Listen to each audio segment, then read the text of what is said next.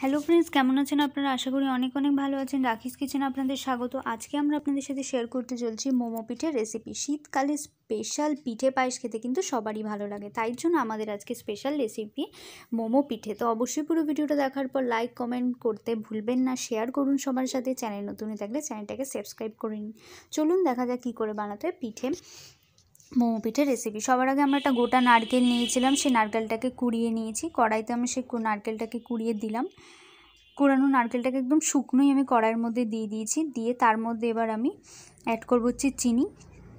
বড় চামচের দু থেকে তিন চামচ মতো চিনি নিয়েছিলাম, নিয়ে দিয়ে ভালো করে মিক্স করছি আমি নারকেলের সাথে চিনিটাকে। শুকনো কড়াইতেই কিন্তু আমি এটাকে ভালো করে মিক্স করে যাচ্ছি। আর আঁচ দিয়ে দিয়েছি আমি হাই ফ্লেমে আমি কিন্তু এটা পুর বানাচ্ছি যে মৌ পিঠে বানানোর যে পুরটা হচ্ছে সেই পুরটা বানাচ্ছি। দেখুন একটু লাল লাল হয়ে এসছে, তার মানে বোঝা যাচ্ছে যে নারকেলটা কিন্তু একটু সেদ্ধ সেদ্ধ হচ্ছে আর একটু কালারটা কিন্তু চেঞ্জ হচ্ছে। তো এইভাবে যখন আমি দেখব যে পুরোপুরি লাল হয়ে গেছে নারকেলের এই কোরান রঙটা তখনই কিন্তু আমি এটাকে নামিয়ে দেবো। তো প্রায় দশ থেকে পনেরো মিনিট পর আমি দেখব যে পুরো লাল লাল হয়ে গেছে। তখন আমি বাটিতে পুরটাকে রেডি করে রেখে দিলাম। এবার আমি যাব হচ্ছে মৌ পিঠে বানানোর, মোম বানানোর রেসিপিতে আমি ফার্স্টে ময়দা নিয়ে নিলাম, দু কাপ মতো ময়দা নিয়েছি একটা বলে। ঘি নিলাম আমি, এক থেকে দেড় চামচ মতো। চিনি নিলাম আমি তার মধ্যে, এক চামচ মতো, আর সামান্য পরিমাণ লবণ দিয়েছি। দিয়ে এবার এটাকে, ময়দাটাকে আমাকে খুব ভালো মতো মাখতে হবে। ময়দাটা যেটা আমি মাখবো, সেটা হচ্ছে টোটালটাই কিন্তু আমি ভালো করে আগে এগুলোকে, ইনগ্রিডিয়েন্টসগুলোকে মিক্স করে নেব। মিক্স করার পর আমি দুধ দিয়ে ময়দাটাকে মাখবো। তারপর আমরা কিন্তু জল এখানে ইউজ করব না, আমরা টোটাল ময়দাটাই মাখবো হচ্ছে দুধ দিয়ে। তো আমি বাটিতে করে এক বাটি মতো দুধ নিয়েছি, নিয়ে সেটাকে আমি অল্প অল্প করে দেবো। যতটা করে আমার দুধের দরকার হচ্ছে আমি সেই অনুযায়ী দিয়ে ভালো করে মাখবো। ভালো করে খেয়াল রাখবেন যে সফট যাতে একটা ডো তৈরি হয়, ডোটা যাতে বেশি ল্যাতলাতে না হয় বা বেশি টাইট যাতে না হয়, তাই জন্য আমাদের যতটা করে পরিমাণ মতো দুধ দরকার আমরা ততবার করে দুবার তিনবার করে ঢেলে ঢেলে নেব আর সফট মতো একটা ডো তৈরি করব। এবার পাঁচ দশ মিনিটের মধ্যেই কিন্তু আমাদের পুরো ডোটা তৈরি হয়ে যাবে। তাই জন্য আমি পুরো ডোটাই তৈরি করে নিচ্ছি। তো প্রায় দশ মিনিট পর দেখুন পুরো ডোটা আমাদের তৈরি হয়ে গেছে, সফট ডো তৈরি হচ্ছে আর আমাদের দুধটাও কিন্তু এতটা দুধও কিন্তু আমাদের অলরেডি বেঁচে গেছে, দেখতেই পাচ্ছেন। তো আমরা দুধটাকে সরিয়ে রেখে দিচ্ছি আর ডোটা যেটা বানিয়েছি সেটা আমি ঢাকা দিয়ে হাত দিয়ে একটু চেপে দিলাম, একটু ঢাকা দিয়ে রেখে দেবো। তো এটা আমি ঢাকা দিয়ে রেখে দিচ্ছি প্রায় কুড়ি থেকে পঁচিশ মিনিটের মতো আপনারা চাইলে আধ ঘন্টাও রাখতে পারেন। তারপর আধ ঘণ্টা পর আমি ঢাকনা খুলে ডোটা দেখব যে সফট হয়েছে কিনা। তো ডোটা আমি দেখছি যে টোটালি সফট হয়ে গেছে, ডোটা আমি নিয়ে এবার একটু হাত দিয়ে এদিক ওদিক চাপড়ে চুপড়ে নিয়ে তারপর তার থেকে আমি কিন্তু এইভাবে গোল গোল করে লেচি করে নেব। আমি বড়ো বড়ো সাইজ করে লেচি বানাবো, তার কারণ আমাকে মোমো মতো সাইজ করতে হবে, তাই আমি ফার্স্টে গোল করে এভাবে বড় বড় করে লেচিগুলো কেটে দিয়েছি আর হাত দিয়ে ভালো করে শেপ দিয়ে তারপর আমি সেটাকে রেখে দিলাম। তারপর আমি একটা বাটিতে ময়দা নিয়েছিলাম, ময়দার গুঁড়ির মধ্যে সেই একটা একটা করে লেচি ভালো করে মাখিয়ে নিই এবার ভালো মতো আমি বেলে দেবো। আমি এই ফ্লোরের মধ্যে এইভাবেই বেলে দিচ্ছি।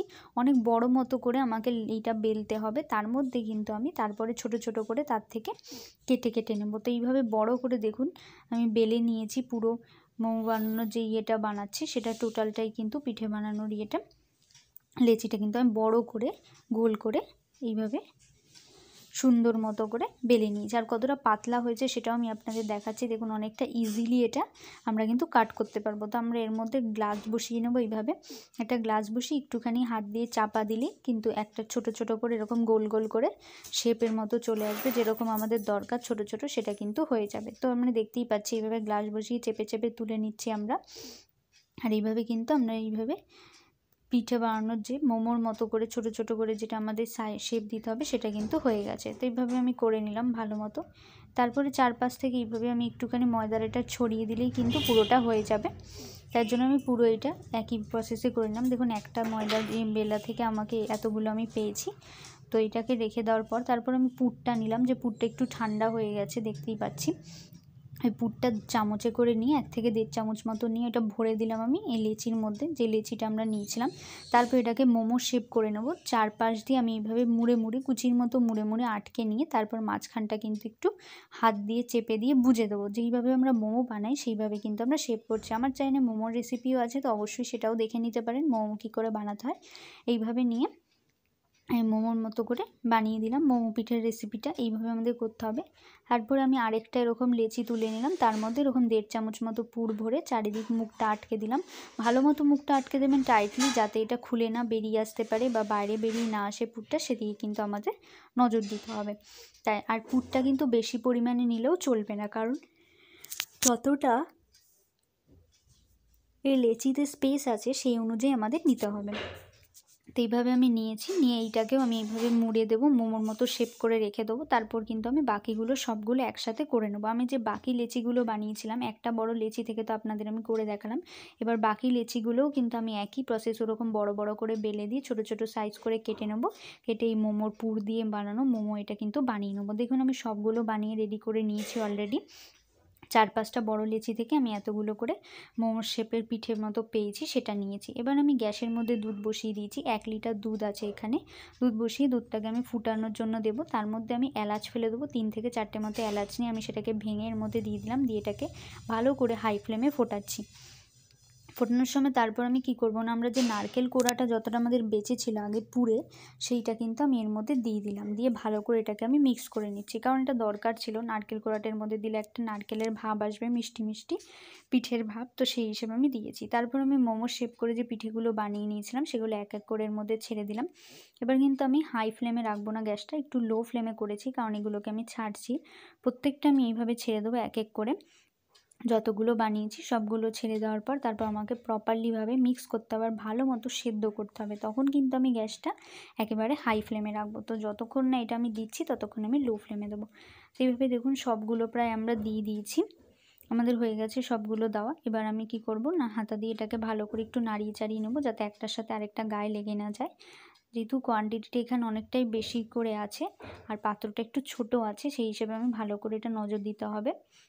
আর হালকা আছে আমি এইভাবেই ভালো মতো ফুটিয়ে নিচ্ছি। কারণ প্রথমে কিন্তু হাই ফ্লেমটা দেওয়াটা ঠিক হবে না, তাই আমি হালকা আছে এটাকে ফুটিয়ে নেওয়ার চেষ্টা করছি। ভালো মতো এটাকে নাড়িয়ে চাড়িয়ে নেব। দুপাশে দুধটাও গরম হয়েছে, ফুটেছিল, তারপরে কিন্তু আমি এগুলোকে দিয়েছি।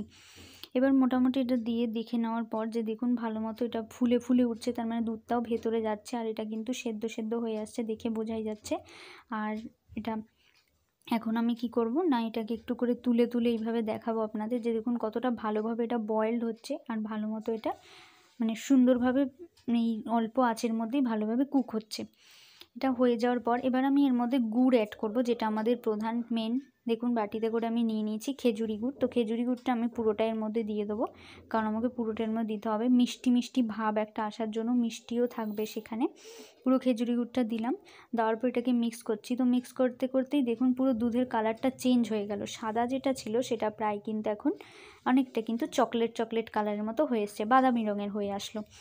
এই গুড়টা দেওয়ার ফলেই কিন্তু এই কালারটা চেঞ্জ হলো। এইভাবে আমি ভালো করে এটাকে আরও ভালো মতো নাড়িয়ে নিই হাই ফ্লেমে গ্যাসটাকে দিয়ে দিয়েছি আমি, দিয়ে ভালো মতো নাড়িয়ে নিচ্ছি, নাড়িয়ে এটাকে ভালো করে মিক্স করার চেষ্টা করছি। চেষ্টা করার পর তারপর এটাকে আমি ঢাকনা দিয়ে কিছুক্ষণের জন্য ঢেকে রাখব, গ্যাসটাকে বন্ধ করে দিয়ে।